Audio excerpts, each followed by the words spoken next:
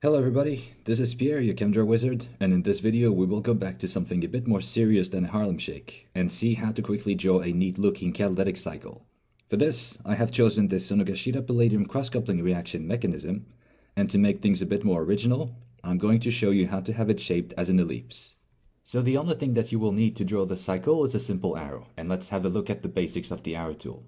You can extend it by dragging the ends of the arrow, which you probably knew, and with the middle handle you can curve it and change the radius of curvature. Now with the curved arrow, holding shift and clicking on one end lets you move only the selected end. And if you hold alt and shift while you click and drag, you get a finer movement. What's important to know is that every curved arrow does close into a circle when you extend it. So if we select this circular arrow, we can resize it and by holding shift while resizing, we can actually distort the circle into an ellipse. And this is the overall shape that our catalytic cycle is going to have in the end. So we will start with some zero valent palladium catalyst right here. And it's F9 to make things subscript and F10 to make them superscript. I am going to add an arrow for the first reagent. I'm going to curve this arrow, position it, then right-click to remove the arrowhead and adjust the length. Now I'm adding some bromobenzene for the oxidative addition. Select, Control, click and drag to duplicate.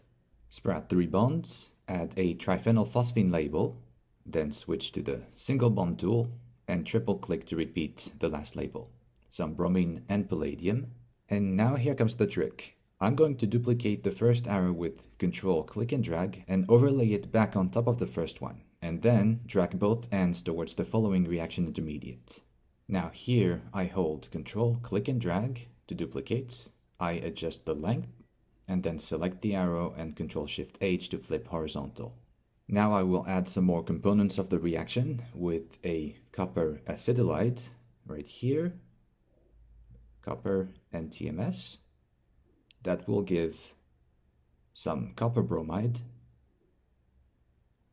And now I'm going to duplicate both molecules. First this one, control click and drag, and then the acetylide. I'm going to adjust the angle, remove the atoms, select these two, and hit Control J to join both parts. Again, here we are going to Duplicate this arrow, overlay it back, and then adjust the ends. Of course, as you may imagine, you can do just the same with a perfectly circular arrow, but I like fancy. Now, the isomerization step, we remove this, adjust the triphenylphosphine, and then put the benzene ring back. And now one last time, duplicate the arrow, overlay it back, and adjust both ends, like this. Now one final arrow that I am going to curve, position and adjust the length